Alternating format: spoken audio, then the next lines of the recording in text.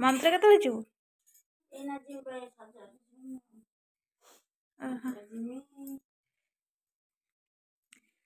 ଭୋର ଉଠେଇ ଗାଧୋଇ ପାଧୋଇ କାମ ସାରିଲୁରେ ନା ବାପରେ ବାପ ଏ ଯୋଉ ଶୀତ ସେଠି କ'ଣ କରୁଛୁ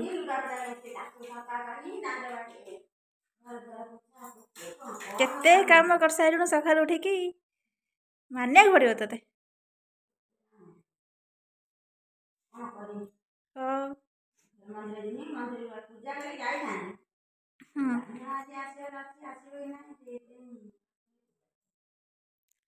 ଗୋଟେ କାମ କର ତୁ ତ ମନ୍ଦିର ଯିବୁ ଆସି ରୋଷେଇ କଲା ଲେଟ୍ ହେବ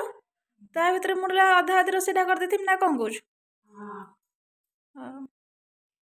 ଠିକ୍ ସାଙ୍ଗ ମା ତ ଏବେ ମନ୍ଦିରକୁ ଯିବେ ପିଣ୍ଡ ପକାଇବା ପାଇଁ ମା ବାପା ସାଙ୍ଗ ହେଇକି ଯିବେ ମୁଁ ତାହେଲେ ସେ ଟାଇମ୍ରେ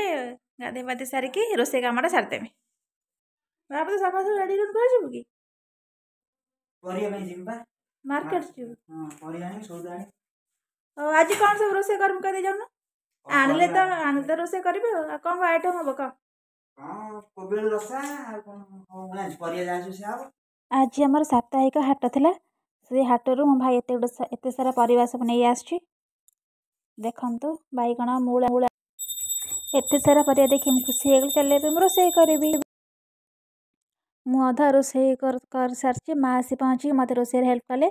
आज म ठाकुरमा श्राद्ध अवरा भात डाले कपी आलु रसा